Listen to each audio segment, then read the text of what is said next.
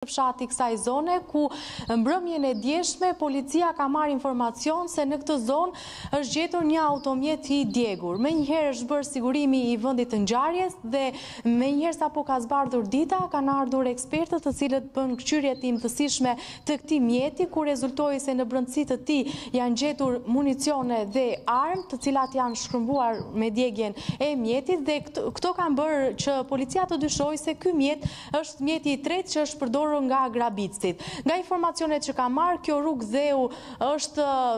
pa dalje, pra të çon vetëm në një stallë bagëtish që është në fund të rrugës dhe lidh disa shtëpi fshati, por nuk ka destinacion tjetër dhe kjo e ka bërë policinë që të mendojë se grabitësit janë larguar në këmbë nga kjo zonë dhe për këtë arsye mëngjesin e sotëm kanë rinisur kontrollet Edhe me helikopter në të gjithë zonën, jo vetëm mbi këtë fshat, por edhe në fshatrat e tjerë që lidhin Tiranën me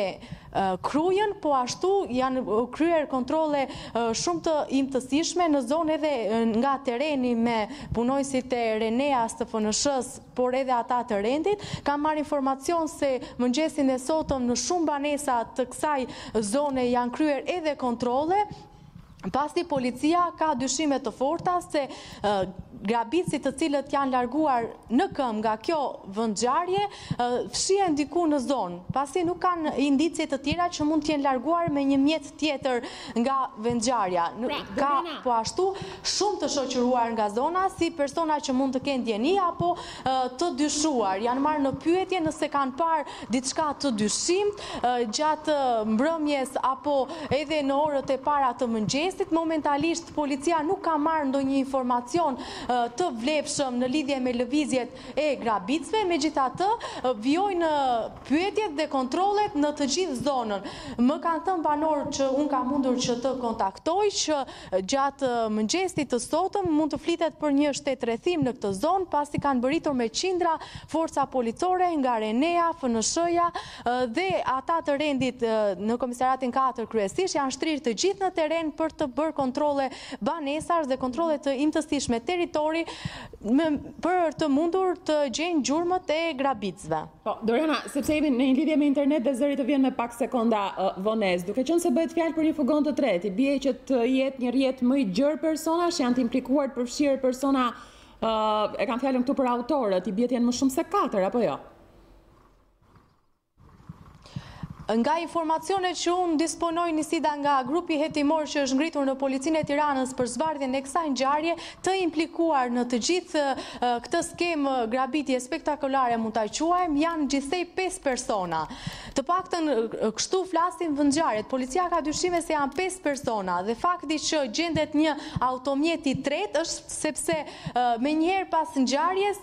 automjeti i dytë i autorëve u gjet diku në Bathore i shkrumbuar dhe prej andej ata janë larguar me një automjet tjetër që dyshohet se është ky që është gjetur sot në Tapizë. Pra, në në nën sekuestron e policisë janë gjithsej tre automjete të tre furgonë që dyshohet se janë përdorur nga grabitësit. Mhm. Edhe diçka në lidhje me policinë, sepse nuk ka ende një deklaratë zyrtare nga ana e policisë së shtetit Doriana, nuk e di nëse ke kontaktuar, ke uh, informacion me autoritetet uh, përkatëse nëse pritet uh, një dalje për mediat apo një deklaratë, ndoshta priten të dhënat apo rezultatet e ADN-s për viktimën, nëse është Admir Murataj apo jo 100% e konfirmuar, sepse të gjitha gjasat çojnë tek emri i tij. Por në lidhje me këtë deklaratë të munguar nga ana e Policisë së Shtetit, çfarë mund të themi? Policia ka dhënë vetëm një, një informacion paraprak në lidhje me ngjarjen rreth një orë pasi ajo kishte ndodhur, konfirmoi vetëm faktin që ka ndodhur një grabitje në brëndësi të terminalit të aeroportit të Rinasit dhe policia në ndjekje të grabitësve në shkëmbimin e zjarrit Ka mbetur një person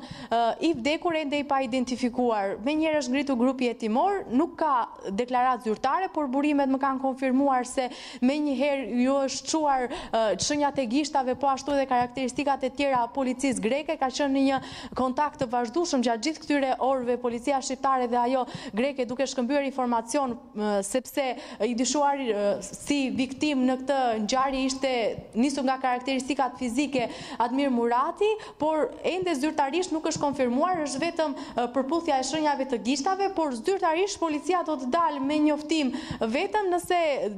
del edhe profili i ADN-së i njëjtë me personin e dyshuar, që mbeti viktimë në këtë ngjarje. Janë në kontakt të vazhdueshëm me policinë greke e cila ka një një një dosje për për personin pasi Rezulton i arrestuar, atje i dënuar e më pas i i larguar nga burgu i traka, i, trika, i Trikalas, më falni, është larguar nga nga ky burg, është arratisur dhe policia greke po aq sa edhe ajo shqiptare është e interesuar për të zbuluar identitetin e personit i cili humbi jetën në këtë përplasje me policinë. Faleminderit Doriana për informacionin e përcjellë.